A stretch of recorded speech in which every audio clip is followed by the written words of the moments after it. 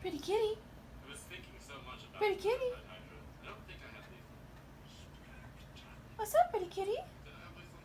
What's up? What's the deal?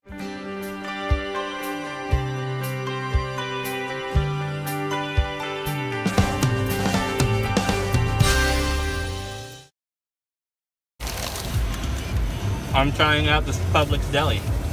Is it good? Mm-hmm. You said it was like Earl of Sandwich When I first bought into it, that's what I thought of. and a, a bottle of milk. I just finished, ugh, my nose itches, sorry, I just finished at Publix and since going on my new um, like eating healthier and making my own lunches and stuff like that, we typically spend, I would say it's it's at least 90 if not more dollars a week on groceries, but now we've spent, it, would it would have been like close to 80 like including his and my groceries. Um, so I mean that, that's not much more, but like the bag is making noise on the uh, steering wheel. But it was funny because when like Jared and I like have a certain system of how we put the things on the belt because like we keep all the frozen stuff together, you know, all the breads and the lighter stuff together, all the heavy stuff together, things that aren't groceries we put together, stuff like that. Um, just that way it's a lot easier when it comes to putting things away. And so, and typically whenever we let them bag it for us, it it just gets all jumbled up and mixed up, and sometimes things get squished. And so, Jared typically is there to help, but he ran to go get like jelly or something. And I was so I was putting the things on my belt by myself, and she was going really fast, which is great. She was like doing her job very well. And then the baggage girl comes over and she goes, "Hi, can I help you put thing? uh, Can I help you put things on there?" And I was like, "No, it's okay." like I snapped at her because more often than not, like whenever they come to just they just put things on the belt just to get them on the belt so we can check out quicker. And then things get all mixed up together, and it's either again harder to put them away or like things get squished, and I it, it literally irks me. I remember the Right. one time they jumped in and just started like throwing things on the belt. I was like, I literally looked at Jared and I was like, "Mm, it's not organized.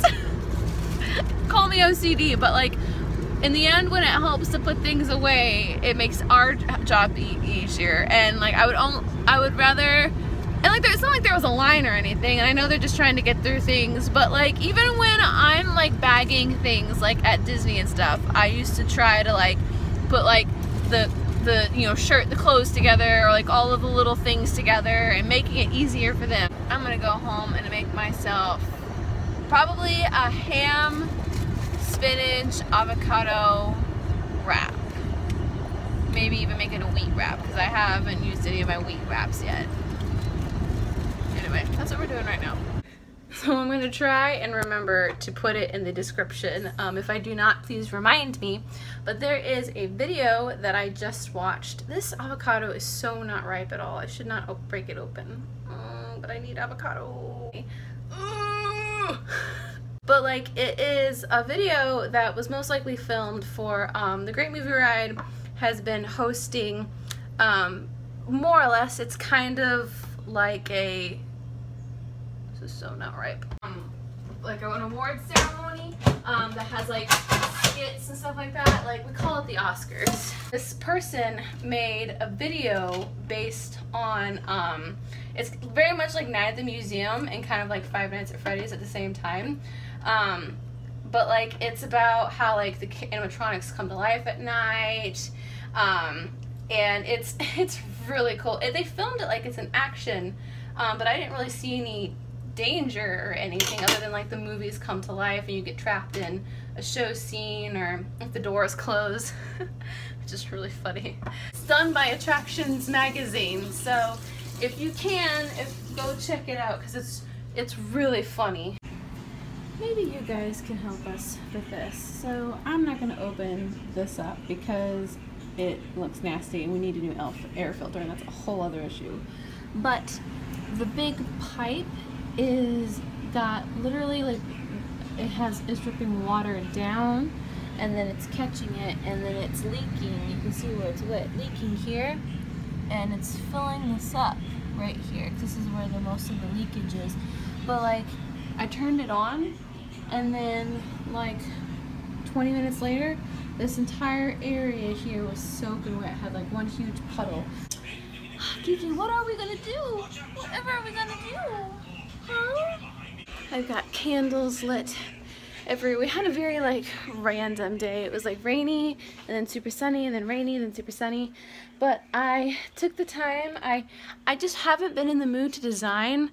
Like designing when it comes to me is like going to the gym. I just have to get my butt sat down and actually sit and do it. And once I start designing or once I start working out like I'm like on a roll. Like it's really hard to get me to stop and so I just finished designing our labels, which I have a funny story about the address labels.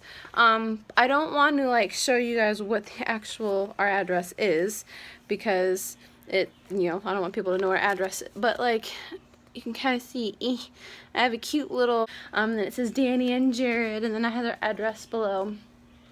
And like this is the first like thing of ours that we've made or that I've made for us. Why did this stop?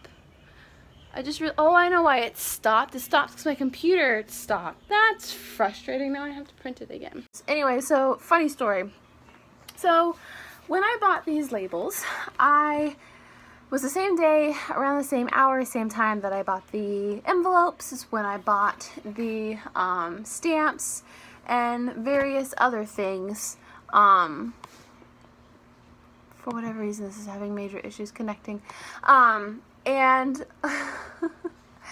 so I was counting, okay, we are having like about 100 people come to the wedding. And so I need probably less than that invitations because that's like individual people. So there are 30 labels on this on each sheet. So I was like, okay, I need, we'll say roughly three, three of them.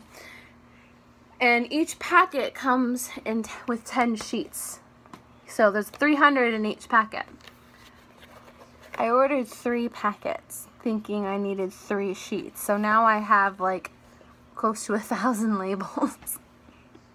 and I, funny thing is I didn't even realize this until I went to print. And I was like, okay, there's 30 labels. I need three sheets. I have a million sheets.